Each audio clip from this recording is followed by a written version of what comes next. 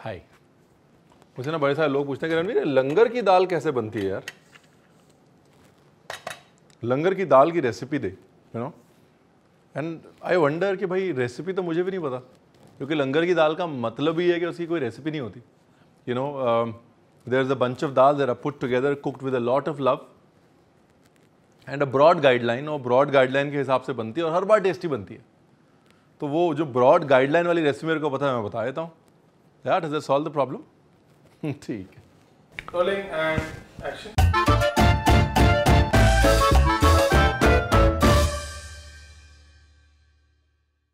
जो लंगर कल्चर है लंगर कल्चर में एक एक कम्युनल ईटिंग और कम्युनल कुकिंग का स्वभाव जुड़ा हुआ है इसके लिए there technically can be no recipe for langar food right अब क्या होता था कि लोग अपने अपने गाँव से आते थे, हर गाँव वाले अपने गाँव की उपज का दसवां हिस्सा ये दसवंद कहते हैं, वो दसवां हिस्सा गुरुद्वारे में छोड़ जाते थे। तो अगर किसी ने दाल उगाई तो दाल छोड़ गए, चावल उगाया, चावल छोड़ गए तो दसवां हिस्सा रबदा है ना? तो वैसे करके उसको छोड़ जाते थे और वो जो सारी दालें आती थी, उनको मिला के एक दाल बना दी जाती जिसका नाम धीरे धीरे लंगर वाली दाल पड़ गया। So to be able to say that exact recipe of langar वाली दाल इज़ कि भाई इसमें ये पड़ेगा ये पड़ेगा ये पड़ेगा, वो गलत होगा।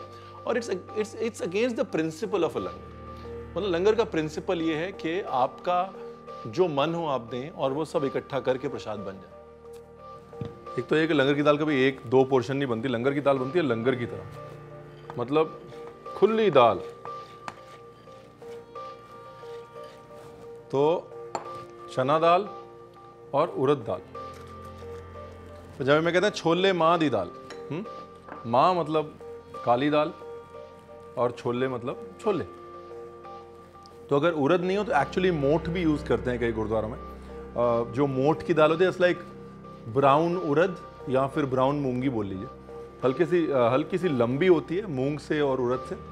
And it always always goes really well with chole chole माँ ਦਾ कॉम्बिनेशन ਜਿਹੜਾ ਹੈ ਨਾ कमाल ਦਾ है अब इसमें like I said there is no set recipe लेकिन हाँ मैं ये ज़रूर बता सकता हूँ कि क्या होगा इसमें जो छोले हैं अ, वो छोलों की दाल बॉडी देगी इसको थिकनेस देगी और अ, जो माँ की दाल है वो इसको रिचनेस देगी you know I often ask कि काली दाल और पंजाबियों का क्या कनेक्शन है what is this whole connection between kali dal and Punjabi Punjabi इतनी काली दाल क्यों खाते हैं And there are two reasons to it अच्छा साइंटिफिकली अगर आप देखें तो नॉर्थ uh, इंडिया में रोटी की खपत ज़्यादा थी राइट right? और हमेशा खाना ऐसा बनाया था कि रोटी के ऊपर टिके।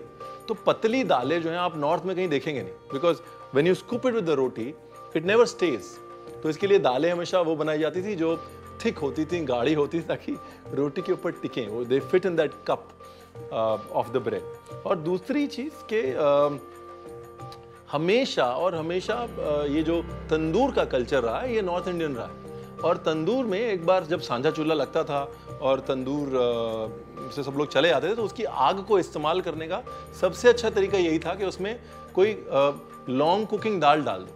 तो urad dal fits that category of that long cooking dal. इसके लिए उड़द दाल जो है वो उस कल्चर में फिट हो गई है बिल्कुल। पंजाबियों के साथ ऑटोमेटिकली वो dal makhani, urad dal you know it just become a natural connect और इसको सीटी मार देनी है।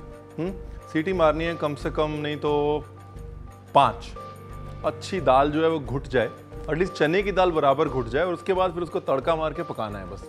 That's all that there is to it तड़का मैं तैयार कर लेता हूँ साइड में। अभी तड़के के लिए ना प्याज। एंड अगेन लंगर में क्या होता है? फाइन चॉपिंग वगैरह नहीं होती। ये मोटा मोटा प्याज, वो उसी का टेस्ट आता है बस।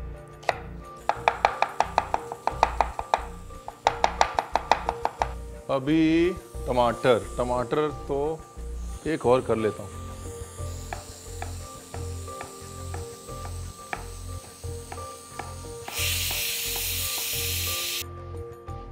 क्यों? ठीक है ना जी? थोड़ा तेल। बस सिर्फ़ उसका थोड़ा सा स्मोकिंग पॉइंट बढ़ाने के लिए। ये कुंडे कोटने में अदरक लहसन।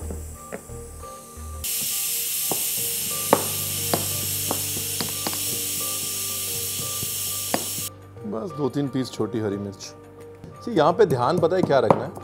यहाँ पे ध्यान ये रखना है कि बहुत ज़्यादा इसको फाइन नहीं करना it's not fine cuisine langar food is not fine food it's basically वो खाना जो बहुत लोग बहुत लोग मिल के बहुत लोगों के लिए बनाते हैं और प्यार से टेस्टी हो जाता है। उसमें कोई फिनेस नहीं है, कोई बारीकी नहीं है। उसकी जो खूबी है, वो उसकी रॉनेस है। So if you want cook langar like food keep it raw keep it real अभी घी रेडी हो गया ना, उसमें जीरा। जीरा चटकते ही अदरक लहसुन। सच्चे पातशाह done so will put this on the side इसको यहाँ रख दिया और तड़के पे शुरू करते हैं फोकस जीरे के बाद अदरक लहसुन, उसके बाद प्याज। आहा।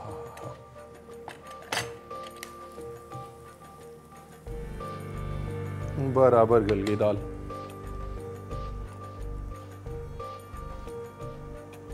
So proportion of chole to maa जो है उरद और आ, दाल का जो प्रोपोर्शन है दैट प्रोपोर्शन यूजुअली इज़ के दो पार्ट अगर माँ की दाल है तो एक पार्ट छोले डाल दो।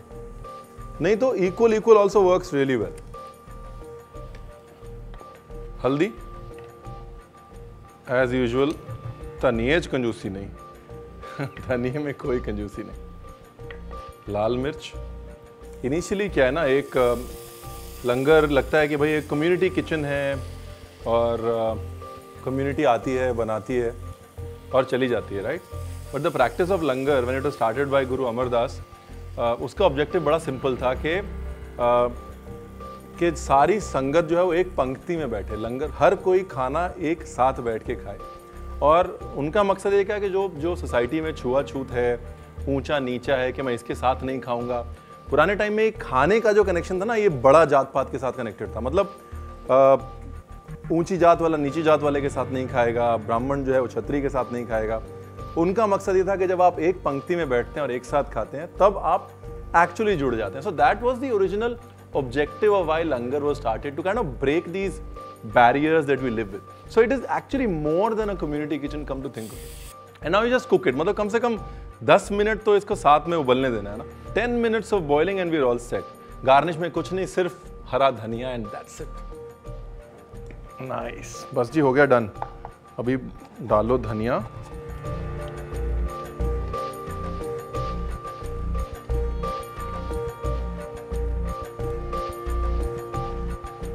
Done.